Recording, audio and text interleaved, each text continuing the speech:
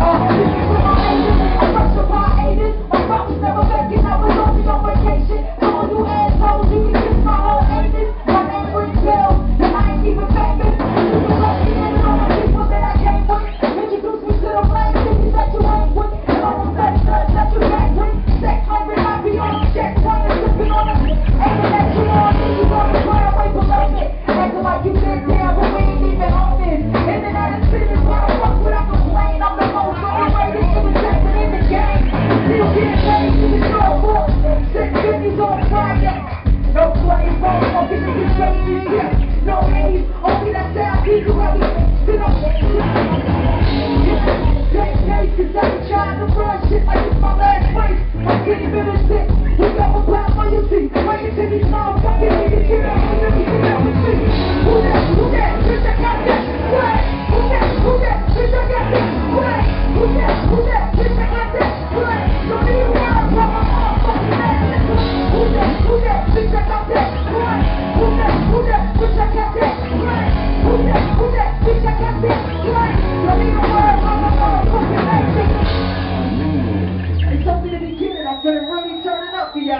Straight up.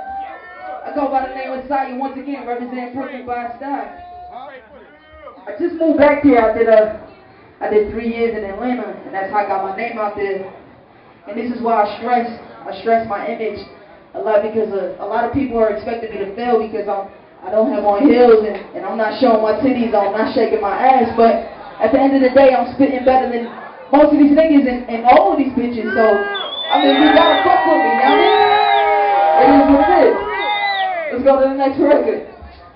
So this can't let it fade away, can't let it fade away.